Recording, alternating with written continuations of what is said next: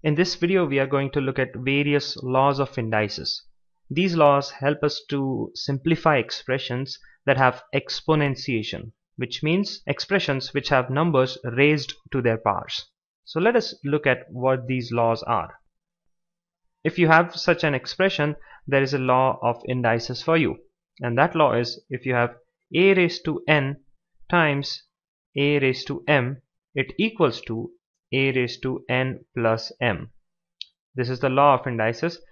So the value of this expression will be equals to we have 2 raised to 3 times 2 raised to 2 so it will be 2 raised to 3 plus 2 and that will be 2 raised to 5. Let us look at the next law.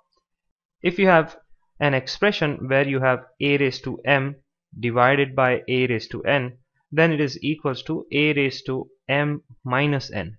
So if you have division you have m minus n. So this will be equals to 5 raised to 6 minus 2 and that is 5 raised to 4 let us move on to the next law.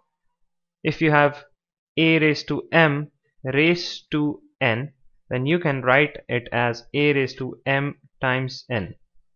So the value of this expression will be 3 raised to 2 times 3 and that is equals to 3 raised to 6 let us jump on to the next. If you have a times b raised to m then it is equals to a raised to m times b raised to m. So this will be equal to 2 raised to 10 times 3 raised to 10 and then you can solve it further. Let's move ahead. If you have a by b raised to m then again you can split this power to both the numerators and denominators. So you can write a raised to m upon b raised to m. So this is equal to 2 raised to 10 upon 3 raised to 10.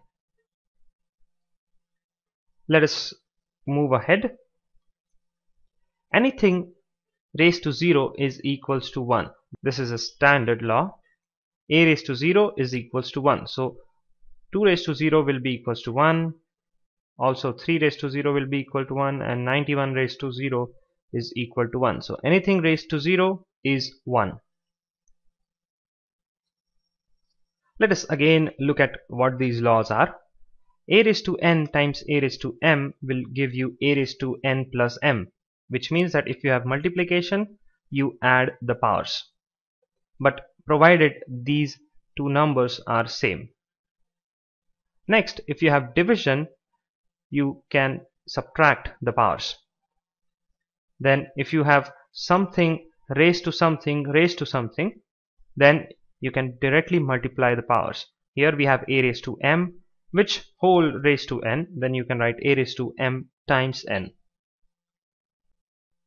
If you have a times b the whole raised to m then you can split the power to each of these terms. So you can write a raised to m times b raised to m and if you have a by b the whole raised to some power then again you can split the power to the numerator and the denominator. So you have a raised to m by b raised to m.